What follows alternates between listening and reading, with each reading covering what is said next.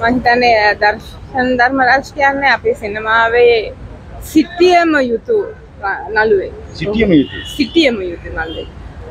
ඔහුගේ දක්ෂකම මේ මේ වකවානුව තුළ මහිතන් බිහි වුණ ස්ක්‍රීන් ප්‍රසන්සක තියෙන ඒ පර්සනෑල්ටික තියෙන දක්ෂකම්ම තියෙන.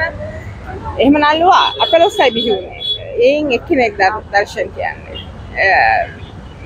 ෆිල්ම් ස්ක්‍රීන් එක පිරෙනවා වහාම චර පර්සනල්ට ඇතිපස් ස්ක්‍රීන් පර්සනල්ට ඇතික ඒ වගේම අතිශය සුන්දර මනුස්සේ අතිශය සුන්දර මනුසේ ඉතින් දරාගන්න බැහැතරව යා එහෙම ගියා කියන එක හරිම හරිම දුකයි විශේෂයෙන් ඔහුට 40 විශේ- ව- ඔහුගේ දුව දෝනීට අවුරුදු දහතුනයි ඉතින් මගේ දුවට අවුරුදු දොලා ඉති මට හරියට ඒක දැනෙනවා දර්ශන් අපිත් එක්කම නැවත ඉපදෙන්න කියලා තමයි ඉතින් ප්‍රාර්ථනා කරන්නේ. ඔහුට නිවන් සුව.